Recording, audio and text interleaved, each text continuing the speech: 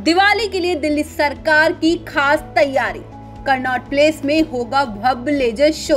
जी हाँ आपको बता दें कि दिवाली पर दिल्ली में लोग पटाखे ना चलाएँ और त्योहार पर भरपूर आनंद भी उठाएँ। इसलिए दिल्ली सरकार 26 से लेकर 29 अक्टूबर, यानी कि छोटी दिवाली से लेकर भैया दूज जैसे अहम त्योहारों पर दिल्ली के कर्नाट प्लेस में एक भव्य लेजर शो का आयोजन करने जा रही है।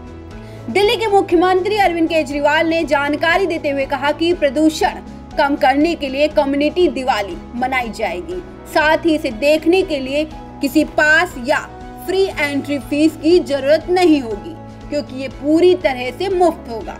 26 अक्टूबर को दिल्ली के उपराज्यपाल अनिल बैजल लेजर शो का उद्घाटन करेंगे।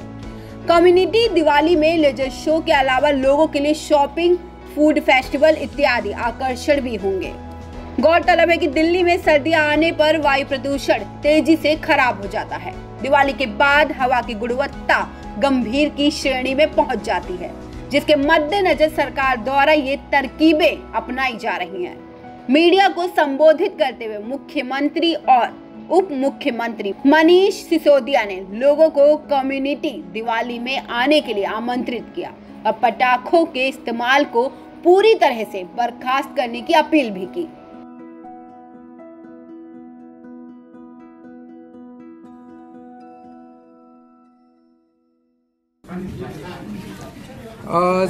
आज मैं दिल्ली के सभी लोगों को दिवाली की शुभकामनाएँ देता हूँ और दिवाली के मौके पे कनॉट प्लेस में भव्य तरीके से दिल्ली सरकार दिवाली मनाने का इंतज़ाम कर रही है।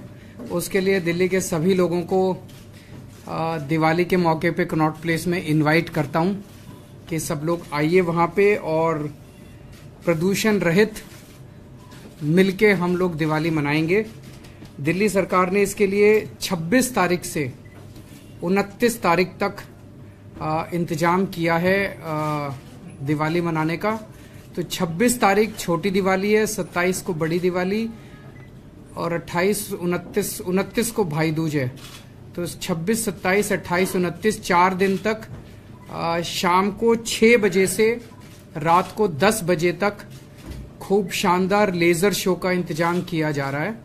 आ, मेरे पास पिछले कुछ दिनों में फ़ोन आए हैं कई लोगों के कि जी पास कहाँ से मिलेगा? हमारे लिए दो पास रख लेना हमारे लिए। कोई पास नहीं है। कोई पास की ज़रूरत नहीं है सभी दिल्ली वाले आमंत्रित हैं। आ, लेजर शो जो है वो एक तो पूरे आ, सीपी को आ, लेजर के ज़रिए और तरह तरह से लाइटिंग के ज़रिए बहुत शानदार तरीके से सजाया जाएगा। आप सजावट देखने के लिए आइए।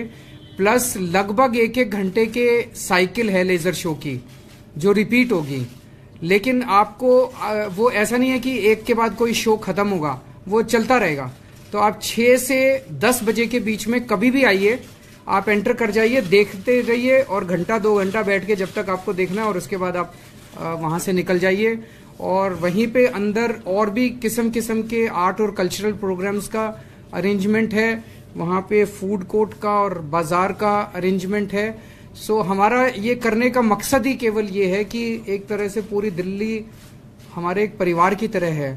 और सारी दिल्ली के लोग वहाँ पे आके दिवाली मनाएँ और पटाखे जलाने की ज़रूरत महसूस ना करें। एक नए तरीके से हम सब लोग मिलके दिवाली मनाएँ। अगर कुछ आइडिया यही है कि लोग कम्युनिटी दिवाली मनाएँ और पटाखे की जो दिवाली मनाते हैं, उसकी वजह से पॉल्यूशन बढ़ता है।